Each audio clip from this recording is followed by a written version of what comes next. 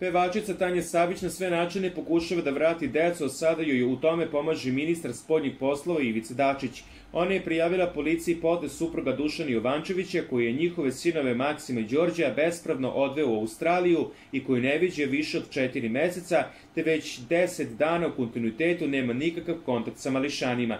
Ministar spoljnih poslova Srbije Ivica Dačić lično će se angažovati da se Tanji Savić vrate oteta deca koja se nalaze u Australiji.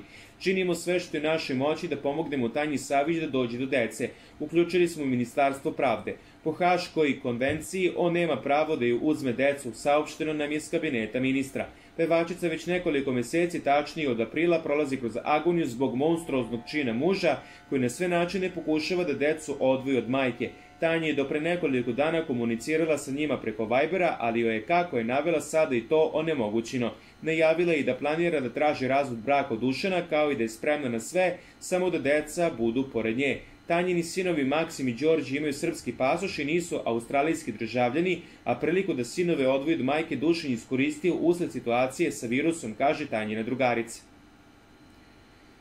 Jako mi je teško bez dece, nisam znala da će ih moj suprug odvesti. Niko mi se ne javlja na telefon ili sam čak i blokirana. Alarmirala sam i ovdašnju i tamošnju policiju, nadam se da će se nešto desiti, iako je situacija sada dodatno otežena zbog virusa. Pošta se ne šalje, sve ide mailom, pa će sve biti dosta sporije. Čim budem imala priliku, otići ću u Australiju, moram da se borim za decu, izjavila je Tanja Savić.